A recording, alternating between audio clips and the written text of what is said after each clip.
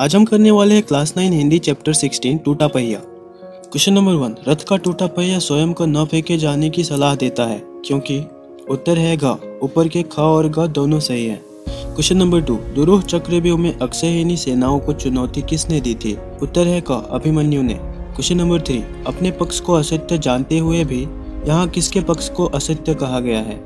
उत्तर है ख दुर्योधन का क्वेश्चन नंबर फोर, ब्रह्मास्त्रों से लोहा ले सकता हूँ। यह किसका कथन है? उत्तर है ग, टूटे हुए पहिए का। संक्षिप्त उत्तर दो। क्वेश्चन नंबर वन, कवि ने अभिमन्यु को दुस्साहसी क्यों बताया है?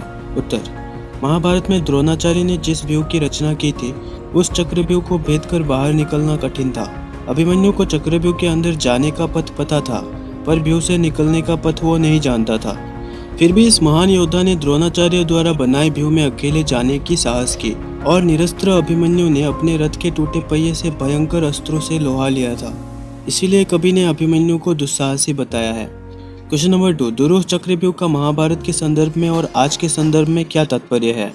उत्तर दुरूह चक्रव्यूह का महाभारत के संदर्भ में और आज के संदर्भ में यह तात्पर्य है कि महाभारत काल में अभिमन्यु का वध करने के लिए कौरवों ने चक्रव्यूह का निर्माण कर निहत्थे अभिमन्यु की हत्या की थी। ठीक उसी प्रकार आज भी हमारे समाज में कौरवों के जैसे अन्याय, अधर्मी, भ्रष्टाचारी लोग मौजूद हैं, जो सत्य और ईमानदारों के खिलाफ अत्याचार कर उनकी आवाज़ों को दबाते आए हैं। क्वेश्चन नंबर थ्री, कवि ने किस तथ्य के आधार पर कहा कि असत्य कभी सत्य को बर्दाश्त नहीं कर पाता? उत्तर, कवि ने महाभारत के महायुद्ध के आधार पर यह बात कही है क्योंकि कौरवों ने पांडवों के साथ अन्याय किया था।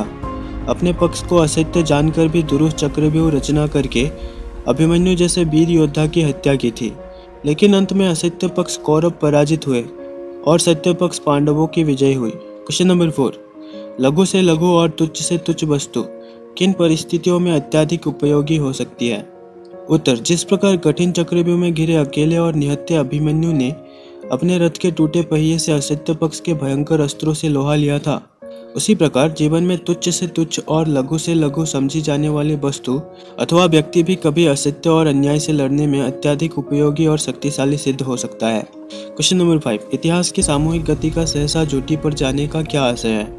उत्तर, इतिहास की सामूहिक गति का सहसा झूठी पर जाने का आशय है कि जब इतिहास की गति सत्य और धर्म के पथ का रास्ता छोड़कर आगे बढ़ने लगता है तो उस समय टूटे पहिए जैसे हथियार यानी साधारण व्यक्ति अपने धर्म व सच्चाई के साथ इतिहास को नई गति दिलाते हैं।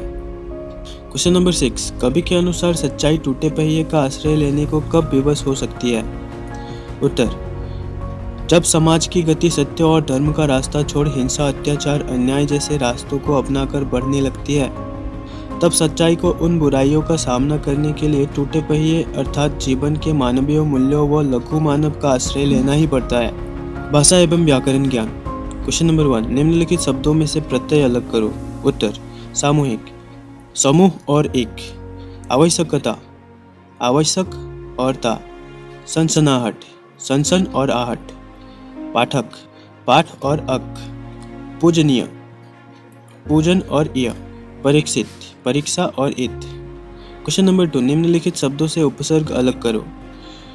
उत्तर, दुस्साहस, दु और साहस, अनुदार, अनु और दार, बदसूरत, बद और सूरत, निश्चित, निह और चिंत, अज्ञानी, अ और ज्ञानी।